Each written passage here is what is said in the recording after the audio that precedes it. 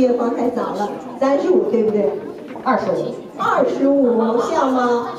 像，像。唱歌多少年了？那是三十年前的事儿。唱歌多少年了？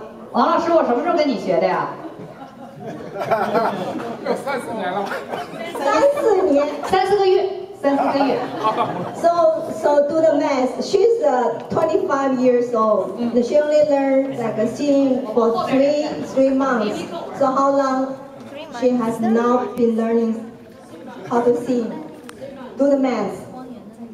25 years old, only learned singing for three months. How many months? How many years? Months? She didn't learn how to how to sing.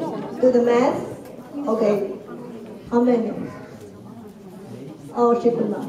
He could not figure out. 24 eight. 他说 Four years and eight months. Okay. 24 years and 8 months. Okay. okay，你给大家唱什么歌？